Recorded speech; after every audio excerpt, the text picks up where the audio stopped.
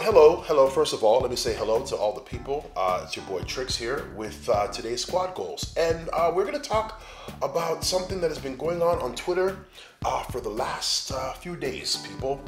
Uh, racism has been going on. Actually, that's been going on forever, but it's gotten out of hand recently.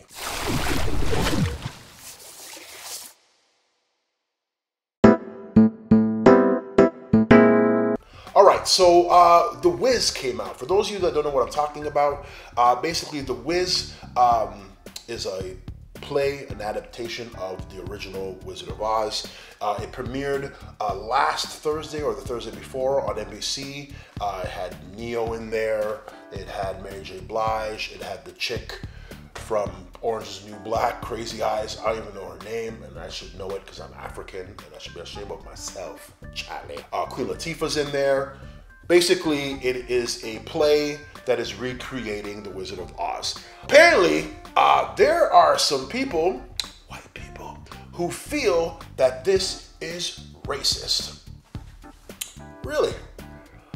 A bunch of black people get together to recreate a fictional story and that's racist. However, the 70 million movies that I've seen that have all white characters, sometimes in urban neighborhoods, not racist at all, it's just normal. Let me catch you up to uh, some of the tweets that some people put up about this uh, about this play.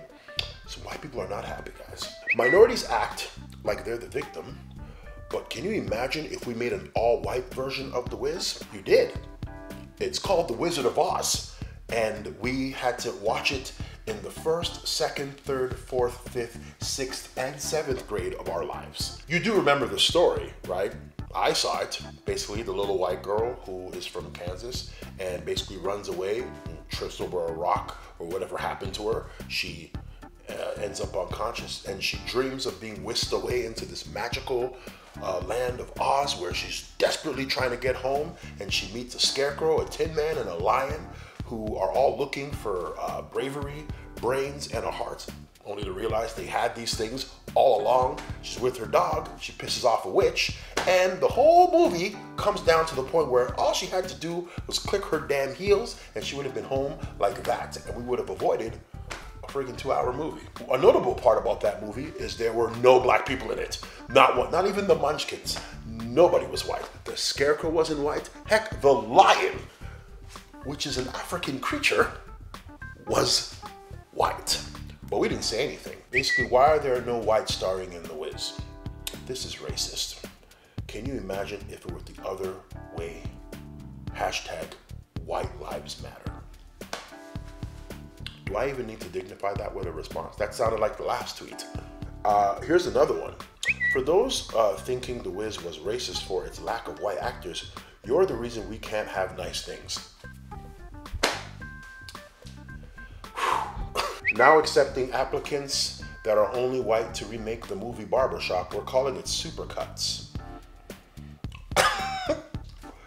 the hate's real. It's real. It's really real. I don't understand why there's an uproar when uh, black characters are cast in movies. Look, for years we have sat there and we have watched white people portrayed in every movie possible. How much times have I turned on a television show or a movie and all the characters are white? And if there are black characters in a television show or a movie, they're either the drug dealer, the cab driver, uh, they are in jail when a white guy accidentally gets thrown in there, the cellmate's black.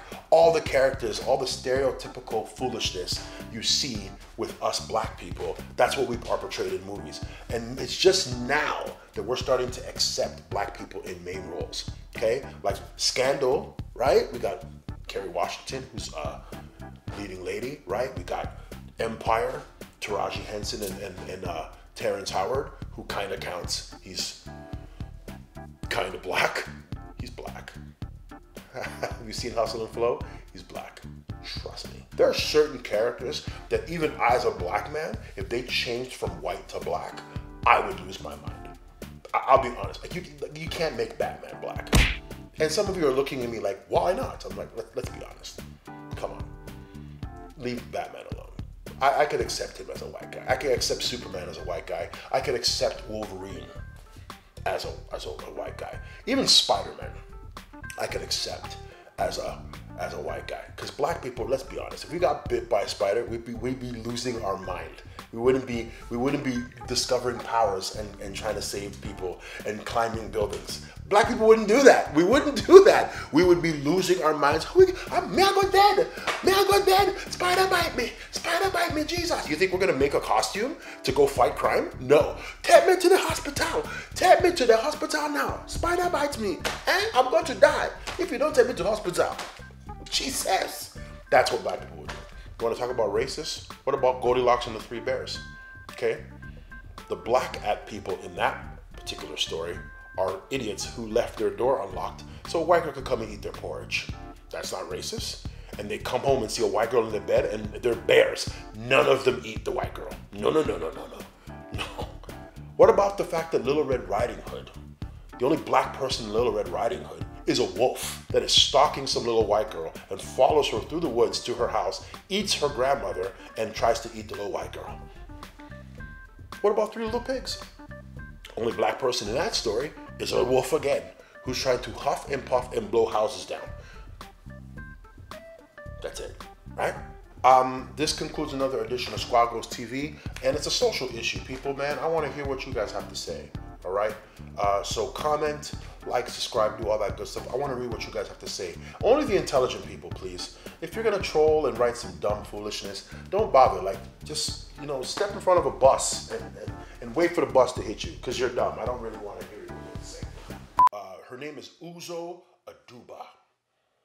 I feel like I, I just felt like I casted a spell on somebody. Uzo Aduba. Why am I making this hard, guy? I don't know. It's fucking I, like I forgot the story. Wait till imagine if it was all black people in hockey. Woo, woo. That'd be that wouldn't even be hockey. That'd just be one big fight.